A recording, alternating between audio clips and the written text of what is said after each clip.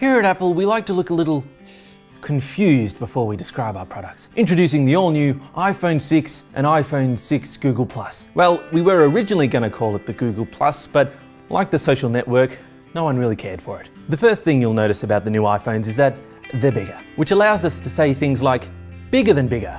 Yeah, that was my one. Now, we'd like to say that the phones got bigger because of design choice, but truly, it was a side effect of us trying to thin them out with our patented rolling pin technology. Another one of mine, but some people didn't get it, they thought it was eye rolling. But anyway, golly did we get those phones small. Whoa, where'd it go?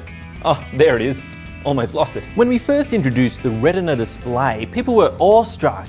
They were like, oh my god, pixels so small you can't even see them? Well, brace yourself because we're introducing the Retina HD display with pixels so small you can't even see them even more. The home screen now has a make it sideways feature. And when Apple saw how big the payment market was, we were like, mm, give me some of that. So we're introducing Pay Apple.